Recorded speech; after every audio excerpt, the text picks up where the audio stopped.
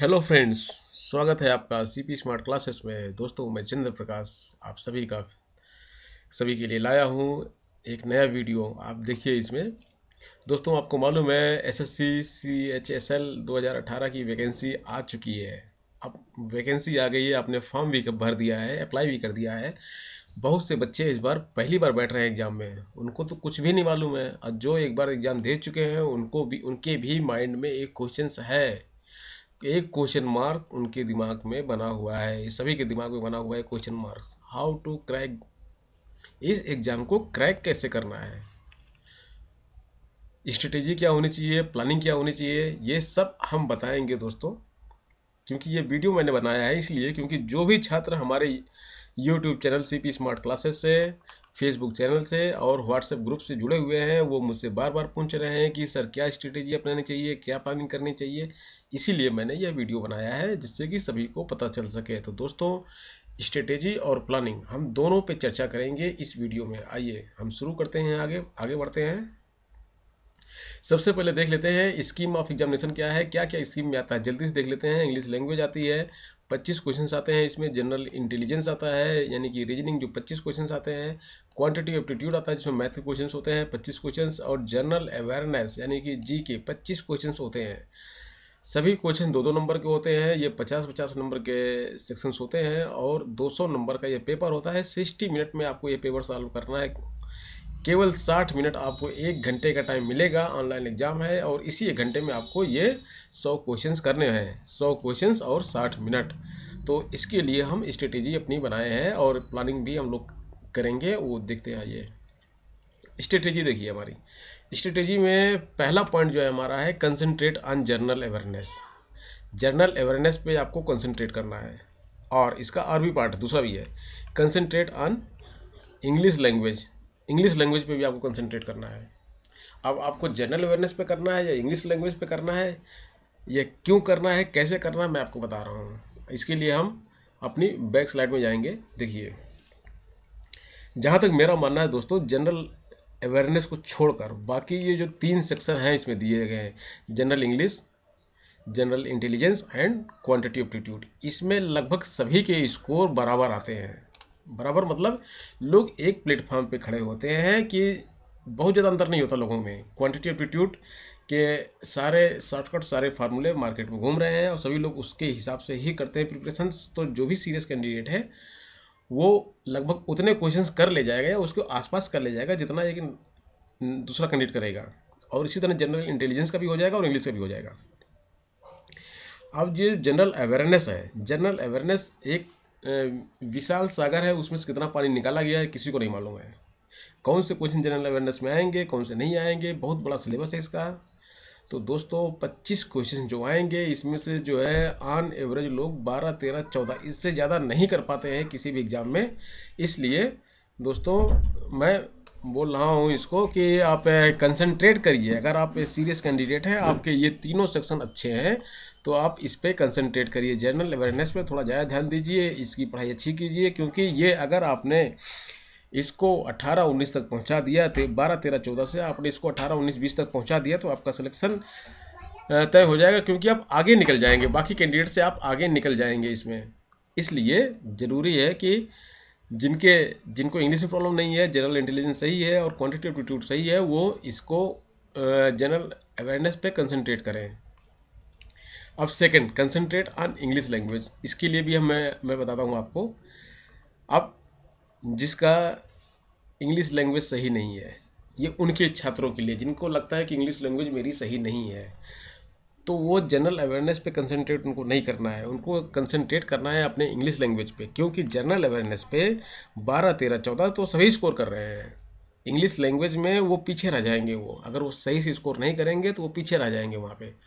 यहाँ पर वो सबके बारह, तेरह, चौदह वो भी स्कोर कर लेंगे तो सबके साथ रहेंगे। इसलिए उनको पूरा कंसंट्रेशन अपना इंग्लिश लैंग्वेज पे देना है। इंग्लिश लैंग्वेज पे कंसंट्रेशन देंगे तो इंग्लिश लैंग्वेज सबके सबके जब साथ आ जाएँगे इंग्लिश लैंग्वेज में बच्चे यहाँ पे बीस, इक्कीस, बाईस तक स्कोर करते हैं, इतना कर लेते हैं, चौबीस तक चले जाते हैं। तो जब इसको इस सबके लेवल में आ जाएँगे तो जनरल अवेयरनेस पे तो सबके लेवल पे ऑलरेडी है वो। तो इसलिए उनको इंग्लिश लैंग्वेज पे कंसंट्रेट करना है। ये सेकंड लाइन है, उन छात्रों की जिनकी इंग्लिश कमज़ोर है। अब ये तो होगी जनरल अवेयरनेस और इंग्लिश के बारे में बात। मैं अब सेकंड पॉइंट मैं करता हूँ कि सेकंड कॉमन पॉइंट जो है सभी के लिए आपको डेली न्यूज़पेपर पढ़ना है। डेली पढ़ना है आपको डेली स्टडी करनी है। डेली स्टडी आप कीजिए। ये नहीं कि आज एक दिन पढ़ाई की, दो दिन फिर नहीं की, अगले दिन फिर पढ़ रहेंगे आज चार घंटे पढ़ लिए, कल छः घंटे पढ़ लिए, ऐसा नहीं चलेगा। आप कम ज़्यादा कर सकते हैं, लेकिन आपको स्टडीज़ डेली करनी है। और डेली रिवीजन का आप अपना एक टाइम फिक्स कर लीजिए। अगर आप दो घंटे पढ़ाई कर रहे हैं तो उसमें आधा घंटा आप रिवीजन के लिए रखिए। कल जो आपने पढ़ा, परसों आपने पढ़ा, उसको शॉर्ट कट में जल्दी जल्दी रिवीजन कीजिए, क्योंकि रिवीजन से ही आपके कल के और परसों के पढ़े हुए चीज़ें आपको याद रहेंगी। आज आप जो ऐड कर रहे हैं, आप जितनी भी चीज़ें आज पढ़ने जा रहे हैं, वह ज़रूरी नहीं है कि आपको याद रहे, क्योंकि अगर आपने कल वाला रिवीजन नहीं किया तो आज आप उसको भूल सकते हैं। इसलिए डेली रिवीजन बहुत ज़रूरी है। आप जितने भी घंटे पढ़ाई कर रहे हैं, उसका वन बाई फोर्थ आप डेली रिवीजन पर दें। ये आपकी स्ट्रेटेजी होनी चाहिए। तो दोस्तों, तीन स्ट्रेटेजी यहाँ पे मैंने बता दी आपको concentrate general awareness English language और डेली स्टडी डेली स्टडी ज़रूरी है, आप चाहे आधा घंटा क्यों ना पढ़िए, एक घंटा क्यों ना पढ़िए, लेकिन आपको डेली पढ़ना है और रिविजन आपको डेली करना है। इसके बाद फोर्थ है ग्रुप डिस्कशन आपको अपने साथ के, अपने दोस्तों से, अपने सहयोगियों से जो भी इस परीक्षा को दे रहे हैं, उनके, उनसे इस बारे में डिस्कशन करते रहना है। डिस्कशन करने से इंफॉर्मेशन का जो है एक्सचेंज होता है। नॉलेज शेयरिंग होती है और ये नॉलेज शेयरिंग बहुत ज़रूरी होती है इस एग्ज़ाम के लिए। इसलिए आप इसको करते रहिए। लास्ट ईयर क्वेश्चन पेपर्स आप लगाइए। सभी के लिए है ये आप लास्ट ईयर के क्वेश्चन पेपर आप लगाइए इसमें। लास्ट ईयर के क्वेश्चन पेपर लगाना बहुत ज़रूरी है दोस्तों। अब हम प्लानिंग करते हैं दोस्तों, कैसे प्लान करेंगे हम? वो तो हो गई स्ट्रेटेजीज की बात हो गई, जो स्ट्रेटेजी हमने बना ली कि कैसे कैसे करना है, हम प्लानिंग देखते हैं। प्लानिंग हम सेक्शन वाइज हमने कुछ बनाया हुआ है जनरल अवेयरनेस की प्लानिंग हम कैसे करेंगे जनरल अवेयरनेस के लिए हमको डेली न्यूज़पेपर पढ़ना है।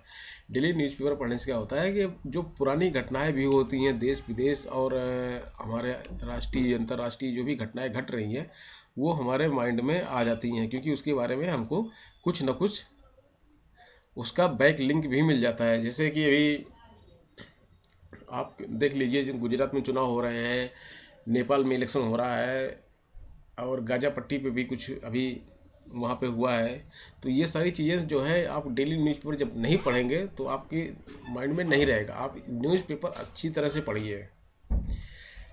करंट अफेयर्स करंट अफेयर्स आप सितंबर 2017 से फरवरी 2017 तक आपको पढ़ना, क्योंकि मार्च में पेपर है।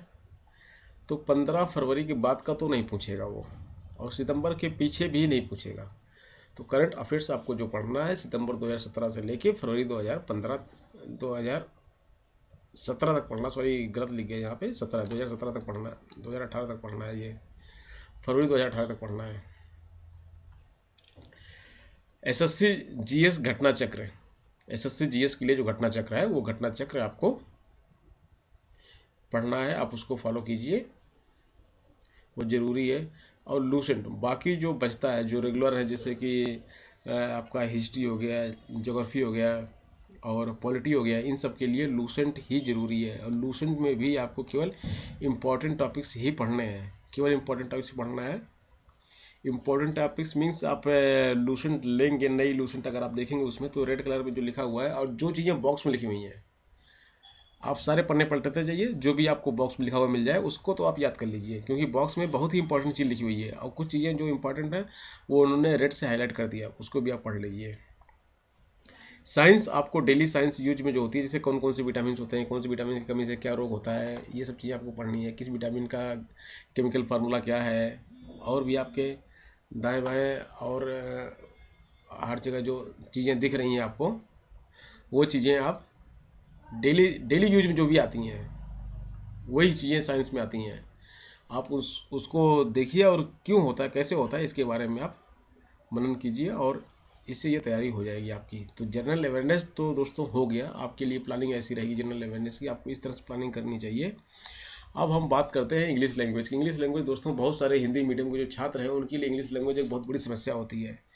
जो कन्वेंट एजुकेटेड है इंग्लिश इंग्लिश मीडियम में पढ़े हुए हैं, उनके लिए इंग्लिश लैंग्वेज उतनी बड़ी समस्या नहीं है। इंग्लिश लैंग्वेज उनके लिए बहुत ईजी होती है, लेकिन जो गाँव, देहात, कस्बे छोटे छोटे कस्बों छोटे छोटे शहरों से आते हैं, उनके लिए इंग्लिश लैंग्वेज बहुत बड़ी समस्या होती है दोस्तों।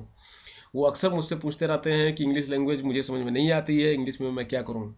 तो उनके लिए मेरा सजेशन है, सबसे पहले वो इसमें दो तीन जो फिक्स चीज़ें आती हैं, उसकी तैयारी करें। जैसे कि एक हो गया एंटोनिम्स की तैयारी करें, सिनोनिम्स की तैयारी करें, वन वर्ड सब्सटीट्यूशन की करें। वन वर्ड सब्सटीट्यूशन में मैंने अपने चैनल पे एक वीडियो भी बनाया हुआ है और एंटोनिम्स, सिनोनिम्स के बारे में भी मैं वीडियो बनाऊँगा। इसकी वीडियोस को अगर वो फॉलो करेंगे तो सही रहेगा और इरर्स को करें। ये तीन चार जो स्टेप्स हैं, ये सबसे अच्छे हैं। और इसके लिए एम पी पब्लिकेशंस की एक प्रैक्टिस एक बुक आती है जिसमें प्रैक्टिस सेट दिए हुए हैं। प्रैक्टिस सेट दिए हुए हैं, उसको वो करेंगे तो एंटोनिम्स, सिनोनिम्स के वर्ड्स जो है, उससे इनका इनको काफ़ी अच्छा इंप्रूवमेंट होगा और ये एम पी पब्लिकेशंस की जो बुक है, अशोक कुमार सिंह के द्वारा रिटर्न की गई है। ये बुक खरीद लें, इस बुक को मैं रिकमेंड करता हूँ अपने चैनल से, इसको वो खरीद लें और इसमें से प्रैक्टिस करें तो उनकी उसके, उनके अंदर काफ़ी अधिक इम्प्रूवमेंट आएगा। उन बच्चों के लिए जो इंग्लिश में बहुत कमज़ोर हैं। आगे देखते हैं दोस्तों जनरल इंटेलिजेंस जनरल इंटेलिजेंस में क्या करना लास्ट ईयर के प्रैक्टिस पेपर आपको करने हैं। लास्ट ईयर के प्रैक्टिस पेपर्स जो है, वो आपको करने हैं। और A to Z number. A to Z के नंबर आपको याद करने हैं। जैसे कि A A means one B two B का जो कन्वर्ट करेंगे टू सी को कन्वर्ट करेंगे थ्री में। इस तरह से आपको ए टू जेड के नंबर 26 नंबर याद करने हैं। और इसके लिए भी, इस नंबर को याद करने के लिए भी एक ट्रिक हमारे पास है। ये ट्रिक आप याद करिए। ई ज्योति। ई पाँच हो गया फिफ्थ हो गया जे टेन हो गया ओ फिफ्टीन हो गया टी हो गया ट्वेंटी और वाई हो गया ट्वेंटी फाइव जब आप ई ज्योति याद रखेंगे तो आपको वहाँ पे एग्ज़ाम में आसानी होगी। टी जैसे ही आएगा टी के बाद वाला जो होगा वो ट्वेंटी वन नंबर होगा। पूरे नंबर आपको याद नहीं करने पड़ेंगे। यानी कि शॉर्टकट का भी शॉर्टकट है ये। अब ए टू जेड को आप अपोजिट वर्ड भी याद कर लीजिए। जैसे ए का अपोजिट जेड है बी का अपोजिट वाई है। सी का अपोजिट एक्स है। आप इनको बिल्कुल रट लीजिए, इन दोनों चीज़ों को। ये दोनों चीज़ें आपको रटी रहेंगी तो आप बहुत जल्दी जल्दी वहाँ पर क्वेश्चन कर पाएँगे, क्योंकि टाइम आपके पास बहुत ही कम है। एक ट्रेंगल काउंटिंग का भी एक वीडियो एक होता है शॉर्टकट होता है। इस शॉर्टकट को भी आप देख लीजिए कि किस तरह की फिगर बनी रहेगी तो उसमें कितने ट्रेंगल आएँगे। मिरर इमेज का भी एक शॉर्टकट होता है। और वाटर इमेज का भी एक शॉर्टकट होता है। ये तीनों शॉर्टकट दोस्तों मैं अपने चैनल पे इनके वीडियो बनाऊँगा और इनको, इनके वीडियो अपलोड करूँगा और वो वीडियो आपको मिल जाएँगे, वो वीडियो आप देख लेंगे। तो ये आप इनको कर सकते हैं दोस्तों, आप आराम से कर सकते हैं।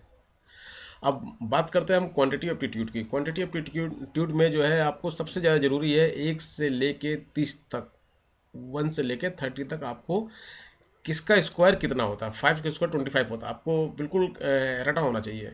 टेन का स्क्वायर हंड्रेड होगा। ये आपको बिल्कुल रटा होना चाहिए। वन से लेकर थर्टी तक आप एक बना लीजिए लिस्ट और उनके स्क्वायर्स आप इनको रट लीजिए बिल्कुल। क्योंकि ये आपके सिंप्लीफिकेशन वाले क्वेश्चंस में बहुत ज़्यादा काम आएँगे। मैथ के सारे क्वेश्चंस में काम आएँगे आपके ये। वन टू थर्टी के आपने स्क्वायर रट लीजिए, आप क्यूब रट लीजिए। और आसान है, बहुत टफ नहीं है ये। तीसरा जो मेरी प्लानिंग है। उसमें आप बहुत सारे क्वेश्चन ऐसे हैं जिसमें कि आप फार्मूले से करेंगे तो बहुत ज़्यादा टाइम लगता है। बिना फार्मूले के भी कॉमन सेंस से इसको सॉल्व किया जा सकता है। तो आप जिस क्वेश्चंस में देखें कि फार्मूला ज़्यादा लग, टाइम लगता है और उसको बिना फार्मूले के आसानी से किया जा सकता है उस क्वेश्चंस को आप विदाउट फार्मूला भी करिए। ट्राई करिए आप विदाउट फार्मूला करने के लिए। कॉमन सेंस लगा के करिए उसको। और फोर्थ है हमारा रिवर्स इंजीनियरिंग। रिवर्स इंजीनियरिंग में क्या होता है कि जो भी कंडीशंस फार्मूले में, जो भी कंडीशंस क्वेश्चंस में मांगी गई है, उन क्वेश्चंस में आप अपने आंसर को रख दीजिए। जिस आंसर से सारी कंडीशंस पूरी हो, वो आंसर आपका हो गया। मान लीजिए ए बी सी डी आपको ऑप्शन दिया गया है, और आंसर है दस, बीस, पच्चीस, दस, बीस, पच्चीस, तीस। ये आंसर निकल के आना चाहिए, कोई एक होगा। तो आपको न्यूमेरिकल समझ में नहीं आ रहा है। तो आपने पच्चीस रख दिया उसमें। तो वो नहीं निकल के आ रहा है। तो आपको ये पता चल गया पच्चीस नहीं आ रहा तो बीस के आसपास ही होगा। तो आप बीस रखिए और देखिएगा वो सही हो जाएगा। आपकी सारी कंडीशन फॉलो कर जाएँगे तो बीस सही हो जाएगा इसमें। तो ये रिवर्स इंजीनियरिंग भी ज़रूरी होती है क्वेश्चन में। सारे क्वेश्चन फॉर्मूले नहीं होते हैं। कुछ अपना माइंड लगा के भी क्वान्टिटेटिव में करना होता है। इसके बाद दोस्तों आ, हम लोगों ने जो हमारा चैनल है जो हमारी टीम है हम लोग इस परीक्षा की प्रिपरेशन के लिए बहुत कुछ कर रहे हैं। फेसबुक पे हमारा एक ये फेसबुक का ग्रुप है, जिसको C P smart classes for SSC banking and railway exams के नाम से ग्रुप है। इसका ये लिंक दिया हुआ मैंने यहाँ पे। आप इसको ज्वाइन कर सकते हैं। यहाँ पे भी आपको गाइडलाइंस मिलेंगी इसके लिए। यूट्यूब पे हमारा चैनल है सी पी स्मार्ट क्लासेस जहाँ पे आप ये वीडियो देख रहे हैं। इस, इसमें हम अभी और भी बहुत सारी वीडियो ऐड करेंगे। तो आप इसको अगर आपने सब्सक्राइब नहीं किया है तो आप इसको सब्सक्राइब कर लीजिएगा और बेल आइकन ज़रूर दबा दीजिएगा, जिससे कि आपको नया नोटिफिकेशन मिलते ही आपको वीडियो मिल जाए। और तीसरा जो हमारा मीडियम है, वो है व्हाट्सएप ग्रुप हमने एक व्हाट्सएप ग्रुप बना रखा है इसमें सी पी स्मार्ट इसमें S S C C H S L के नाम से इस ग्रुप में जो है बहुत सारे मेंबर्स जुड़ चुके हैं और अभी भी बहुत सारे मेंबर्स जुड़ रहे हैं। इस ग्रुप में हम ऑनलाइन टेस्ट करवाते हैं।